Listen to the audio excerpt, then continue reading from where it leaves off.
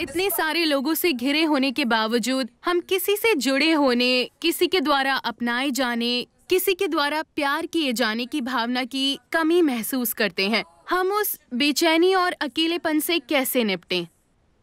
एक स्तर पर सवाल इस बारे में है कि मैं आज़ाद कैसे हो सकती हूँ? दूसरे स्तर पर आप पूछ रही हैं, मैं किसी चीज़ या व्यक्ति से खुद को कैसे बाँध सकती हूँ? आपको तय करना चाहिए कि आपके जीवन में अधिक महत्व किसका है, आज़ादी का या बंधन का? प्लीज़ मैं सुनना चाहूँगा।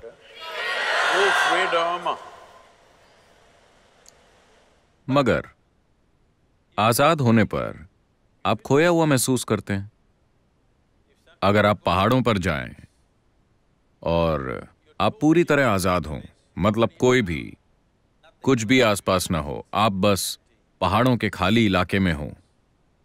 तो आप आज़ाद नहीं महसूस करते, आप खोया हुआ महसूस करते हैं। तो आज़ादी को संभालने के लिए एक स्तर की स्पष्टता और शक्ति की ज़रूरत होती है। ज़्यादातर लोग आज़ादी को नहीं संभाल सकते। वो हमेशा खुद को बांधने की कोशिश करते हैं, मगर हर समय आज़ादी की बातें करते रहते हैं। अगर आप उन्हें वाकई आज़ाद कर दें तो उन्हें बहुत दुख मिलेगा। तो ये क्रमिक विकास की समस्या है। कहने का मतलब है, इस तरह से इंसान फ़िलहाल पिंजरे के पंछी की तरह है। अगर आप किसी चिड़िया को लंबे समय तक एक पिंजरे में रखें और फिर एक दिन पिंजरे का दरवाज़ा खोल दें, तब भी वो चिड़िया नहीं उड़ेगी। अंदर होने पर वो विरोध करेगी कि वो आज़ाद नहीं है, मगर वो उड़ेगी नहीं। इंसान की स्थिति ऐसी ही है। बाकी सभी प्राणियों के लिए प्रकृति ने दो लकीरें खींची हैं। जिसके भीतर उन्हें जीना और मरना होता है, और वो यही करते हैं। मगर सिर्फ़ इंसानों के लिए, बस नीचे की लकीर होती है, ऊपर की लकीर नहीं होती। और उन्हें इसी बात की तकलीफ़ है। अगर उनका जीवन भी हर दूसरे प्राणी के जीवन की तरह तय होता तो वो दुखी नहीं होते, बेचैन नहीं होते, अपनी ही बुद्धि को संभालने के लिए परेशान ना होते। और अनजाने में आप यही खोज रहे हैं। आप उसे संबंधों के रूप में खोज सकते हैं। पेशे के रूप में खोज सकते हैं, राष्ट्रीयता के रूप में खोज सकते हैं, या खोज सकते हैं जात, समुदाय। भगवान, स्वर्ग या नर्क के रूप में आप बस एक नकली लकीर खींचने की कोशिश कर रहे हैं, जिसका अस्तित्व ही नहीं है। क्योंकि आज़ादी के लिए साहस की ज़रूरत होती है। एक तरह के पागलपन की ज़रूरत होती है। अगर आप बहुत समझदार हैं तो आप आज़ाद नहीं हो सकते, क्योंकि आप तर्क की दो लकीरों के बीच चलेंगे, आज़ाद होने के लिए। बहुत ताकत चाहिए कि आप सबसे पहले, अगर आप आज़ाद होना चाहते हैं तो जिस चीज़ की ज़रूरत है, क्या आप जानते हैं कि हर इंसानी अनुभव का एक रासायनिक आधार होता है? हेलो? जिसे आप खुशी कहते हैं, वो एक तरह की केमिस्ट्री है। दुख दूसरी तरह की केमिस्ट्री है, तनाव एक तरह की केमिस्ट्री है।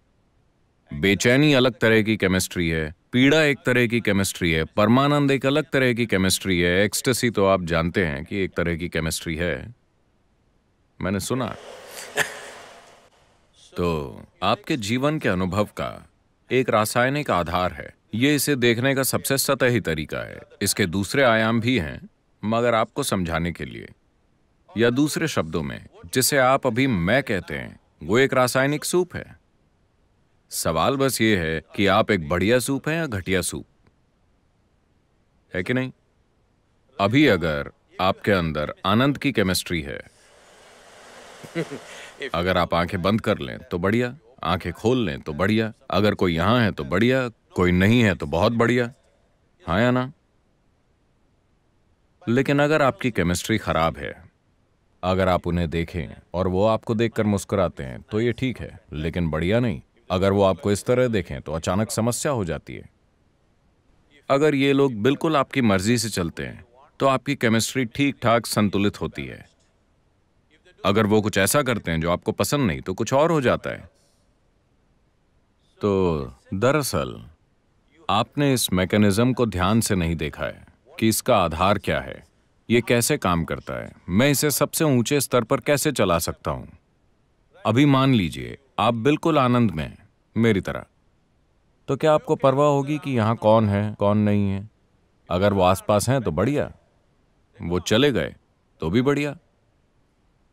क्योंकि जीवन का आपका अनुभव अब इससे तय नहीं हो रहा कि आपके पास क्या है और क्या नहीं है। चाहे वो लोग हों या चीज़ें हों या भोजन हो या कुछ और हो, उनसे ये तय नहीं हो रहा।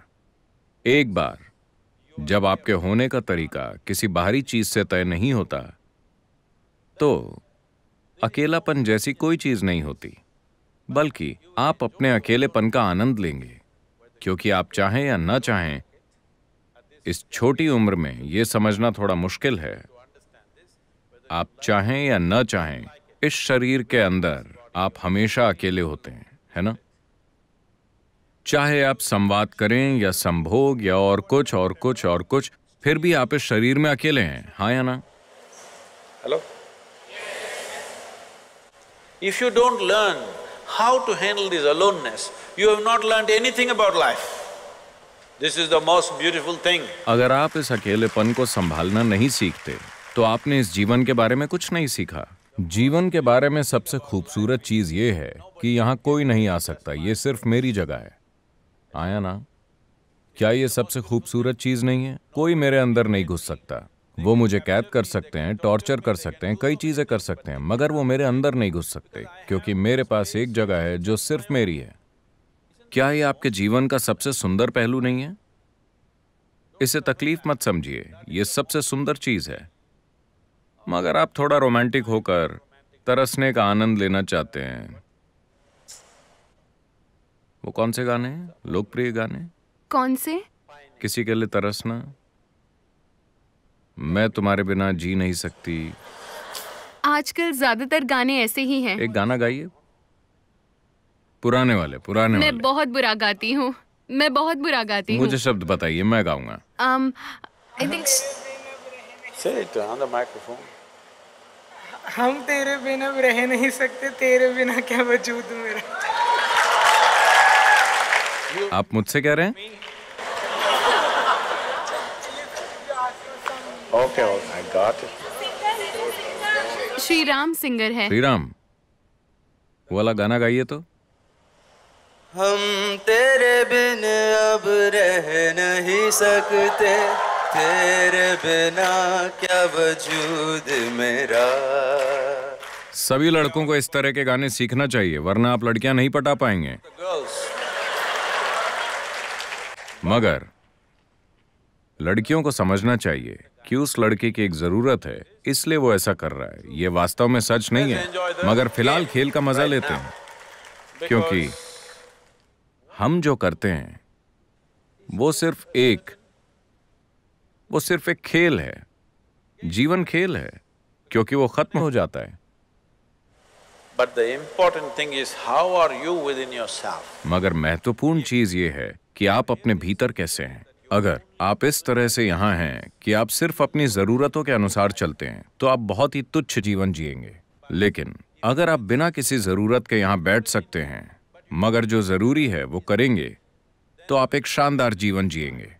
ये मेरी इच्छा और आशीर्वाद है कि आप सब एक शानदार जीवन जिए। अपने लिए इसे सच बनाएँ।